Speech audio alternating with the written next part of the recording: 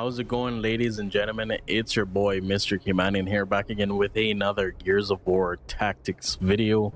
And today, guys, we will be looking at the different customizations that you can do in Tactics. Um, we will be recreating the OG Delta Squad, which has Marcus, Dom, Anthony Carmine, and Kim just after Marcus was freed from the slab. So there's gonna be um, certain armor skins that are not, of course, identical to the OG armor skins, but I'm trying to get as close as I can and the features of each character as close as they are to the original characters. Um, of course, these um, character models are um, completely random um, recruits that you find out on the field when playing through the game. So, of course, they won't look exactly as what they should look like. but um, yeah, I'm sure you guys already know. I've done videos like this in the past. I hope you guys enjoy them. Um, I- I've seen a whole lot of support um, on those past videos that I did with, um, of course, showing off the uh, cog gear, the UIR, and the Onyx Guard gear set, and of course recreating Tai in this game. I saw a whole lot of support on those videos, so I'm bringing this out to you guys.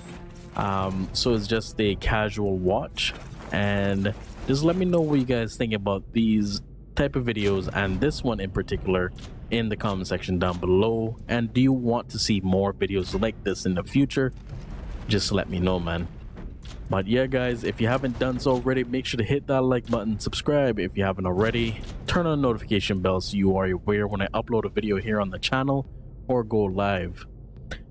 And anyway i'll see you next time